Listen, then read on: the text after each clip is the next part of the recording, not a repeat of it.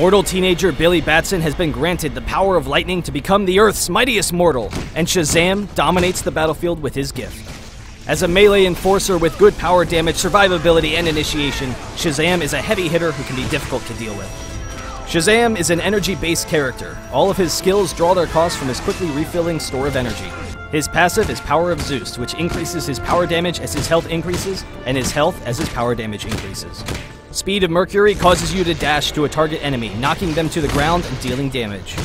Mystic Power and Mystic Defense are actually a single skill that allows Shazam to switch between his two forms. When switching to power, he unleashes a chain lightning attack that bounces between enemies dealing power damage, and his basic attacks regenerate energy.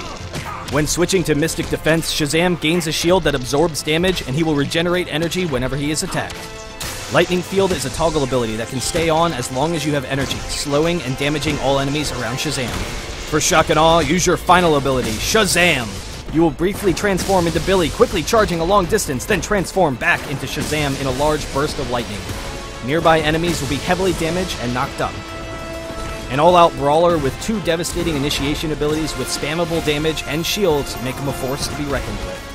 Your bread and butter is switching between Mystic Power and Defense to give Shazam both damage and a shield on a short cooldown. But knowing which form will provide you the most energy return is key to keep up Lightning Field as long as possible. Rather than blowing your cooldowns all at once for burst, save Speed of Mercury for Shazam to follow up on an opponent when they've used their abilities to escape, allowing you to constantly stick onto them. The range on your ultimate is long enough that you can set up unexpected ganks over walls and net quick kills for your teams. However, remember to play more cautiously when your ultimate is on cooldown, as you're missing a major source of damage, disruption, and escape. When initiating fights, be ready to react quickly and pick up an out of position target, but you don't always need to use your ultimate immediately. In order to not overextend past your team, save your ult for when your opponent's high priority and soft damage dealers are near the front line. To fit your role as an enforcer, it is important to grab defense early, and in particular health, so that you can soak up poke damage from your opponents before having to use your ult. To allow you to initiate when needed and then escape from a fight, grab super speed as well as consume matter for more survivability.